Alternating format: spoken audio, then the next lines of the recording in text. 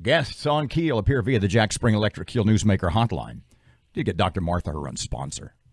We really do. really do. Dr. Martha Whyte, Regional Director for the State Health Department. Hey, Dr. Martha, welcome back to Keel. How you doing this morning?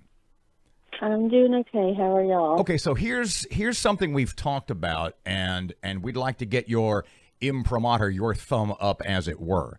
Um, Aaron has talked about when all this is over, when things, and we'll get to flatten the curve here in a couple of seconds. Aaron's made kind of a big deal about who our first live in studio guest is going to be.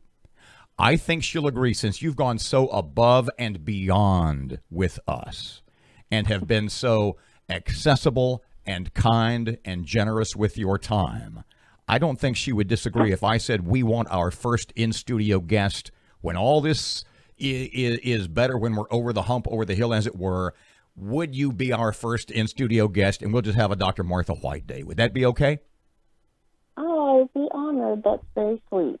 well, well, then you're it. Then you're it. Congratulations in advance. We'll have to get you a special chair. Um, I, I have a question about the term flatten the curve. And I was talking to someone about that this weekend, and you can clarify because the people I were talking to, and I guess it's true, I don't know, that what is meant by the term flatten the curve is that the number of people who will get sick does not change just the time frame in which they get sick is altered. Is that what flatten the curve means or have i got that wrong? Did they have that wrong? Well you can flatten it two ways so you're probably both right. You can flatten it by spreading it out over time so people get fewer people get sick at the same time and so the curve is lower right or you can flatten it by having fewer people sick so you can bring down the peak or you can spread it out and make it wider. We want to do both. Okay, Dr. Whyte, we talked a, a, a, while back about you were worried about everybody wearing masks out to, you know, Kroger, etc. Now the trend is everybody should wear them, but it's not a fail safe, right? Explain why masks are now what we should be doing. So the CDC and the president and everyone has recommended that we go to wearing masks because we are not being successful at keeping people at home. People are out. There's a lot of disease in the community, and so we want we want to make sure that we keep people as safe as we can. We're also learning more and more about this virus every day. There's a lot we don't know, so they figure it's better to wear masks. The risk outweighs the benefits. I mean, the benefits outweigh the risk. I said that backwards. Sorry, but please know masks are not 100% effective, even in the best circumstances, especially cloth masks. They're about 60, 70% effective. And if they get moist and wet, that goes down even more. The way you wear them matters. You can't take them off, hang them on your chest, take them on and off. If you're touching them, touching the outside of them with your hands, taking them off, and then touching things in your house, on your face. It's it's all a risk. So there's videos out there about how to wear them. I have them on my Facebook page. You can find them on CDC. Please pay attention because they're not going to be what keeps you safe. The best thing you can do to stay safe is to stay home. So that's kind of like my next question because I've seen people out and about with masks that literally were little more than a two ply coffee filter.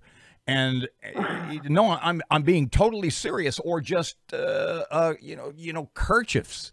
Is is that to, that doesn't keep stuff out? It just keeps stuff in, right? Uh, what? Well, it and that is a benefit. So we don't know who's sick and who's not, and that's another reason why he, there is a recommendation for everyone who goes out to wear a mask because if you're shedding virus if you're early in the stages and you just have mild symptoms that you're not paying attention to, wearing that mask protects everybody that's around you. And I can tell you that's how my husband got sick. Someone didn't pay attention to some symptoms and went to work, and that's how he got sick, and, and other people at that um, building got sick. Okay, tiger at the Bronx Zoo tests positive um, has people freaking out. Or is that a lab mess up? No, I, you know, it the start coronaviruses start in animals, but they're not contagious to us from animals.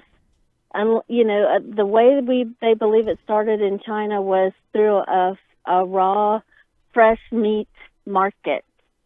So um, we we don't have those here, Okay. and so we're very cautious about how we use our meat. Um, but that this tiger is not going to get anybody sick. You had Aaron had mentioned, I think it's on your Facebook page, maybe somewhere else, um, a home sort of a disinfectant bleach based spray. Tell us about that and what's the recipe? Now, see, I don't know the recipe by heart, but you can always use. Um, you just have to remember you're using bleach, so you don't want to use it on things that'll stain. But you can always use a cup of bleach to a gallon of water. Will dis- be a disinfectant. But I also have there's recipes you can Google them, you can find them that are for you can make your own Lysol wipes, you can make your own bleach wipes. So, you know, just because they're not in the store, don't think you can't find a way to keep your home clean and, and safe. I'm going to put those recipes that you posted up because they're real interesting and, and looks like real easy to do. Um, you can tell me to go They jump in the lake here this morning if you would like. I don't mind. Uh, but folks want to know if you're if you care to share the status of your husband who had who had tested positive. How is he? Can you do you want to share or no? Well, he's still critically ill. Um, this is day nine. Um, you've seen articles on, in the paper about um, plasma, the first use of convalescent plasma. Mm-hmm. that was through some amazing people in this community who um, agreed to donate their plasma. That went to my husband, and I'll be forever grateful to them. Um, if this works for him, there's a lot of other people standing in line to donate for others. So hopefully we can make a change. Um, so, you know, I'm just praying that all these interventions are going to pull him through. And But I, I do appreciate all the prayers. I've had so many people praying Mm-hmm. for him, and I'm very grateful. you're still testing negative then. yes, ma'am. Okay. Dr. Martha Whyte, I can't thank you enough, and I'm looking forward to having you in studio as our first guest when we get back to a regular uh, life. She promises to wear real pants, I promise. Yeah, we're real pants and matching shoes. I did see your pants; those are cute. Thank you. Let's let's not You not can encourage borrow them that. anytime you want. That didn't help. For surgery. She's going to pass on that, I think. yeah. Dr. Martha, a pleasure as always. Thank you for your time, ma'am. Thank y'all.